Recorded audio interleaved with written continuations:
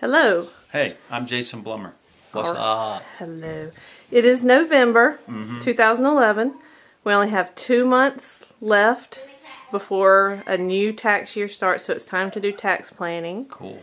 And we want to know who need who should get tax planning. Who needs to have that done? Tax planning is good for business owners if you own a flow through entity, which is like a partnership or an S Corp. Um, the income of the business will flow through to your personal return, and we can do a lot of planning with that. So if you own a business, you definitely have to have tax planning in the fall, for sure. Okay, so the benefits of it are, I'm assuming, just tax savings on your personal Can return. be. I guess it's it. Um, if you think about it, if you owe tax, like when we do tax planning, we figure out what tax you'll owe or an, a good estimate of what you'll owe, and so that money is now going to go to the government.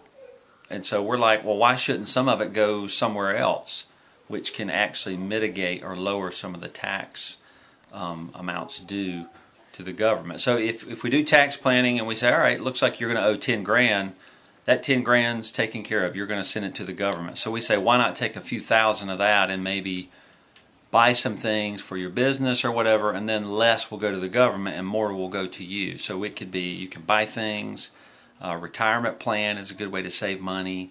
Um, we can do some things with your payroll and bonuses at the end of the year. So there's a few things you can do for tax planning. But the greatest benefit is knowing what you're going to owe before you owe it, So that, so that you can plan so ahead. you can plan. And how do we handle tax planning here at the Blumer firm? What do people need to do if they need it done? In our firm, Kathy Lovell is the tax manager. She's a CPA with us, and she actually almost does the return. Um, so we have a tax estimation module in our tax software. She gets a lot of your data that you really would prepare for us to do your return, and we estimate what your tax um, your tax liability is going to be. And so Kathy has to you have to bring data to her or upload it and scan it to her or into your portal. If you don't have a portal, contact Jennifer Blumer. And then she actually does a return. I review it and we just see, you know, what we can do to eliminate what we've discovered is your tax liability for the year.